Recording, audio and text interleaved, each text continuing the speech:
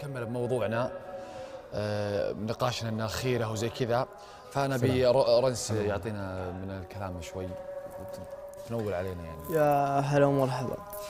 زايد أنت قد ذكرت لنا موقف عن أختك ترف. قلت وقلت إن أذكر إنك قلت فيها كلمة خير. نبي نسمعها منك على موضوعنا اللي هو كلمة خير. القصة قد قلتها لكم وقد طلعت. عند الناس وراحت. لكن آه، الخيرة كانت في موضوع إني قبل قبل الموقف هذا بيوم كنت طالع أنا وأخوياي ناويين ننام باستراحة. حلو؟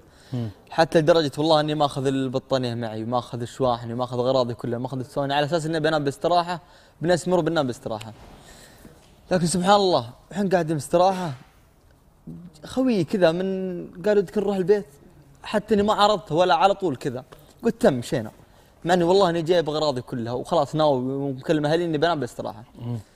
سبحان الله كتب الله انه ما أنام باستراحة ورجعت البيت. فيوم رجعت البيت وحصل موقف دائم آه، البنت غرقت وكذا.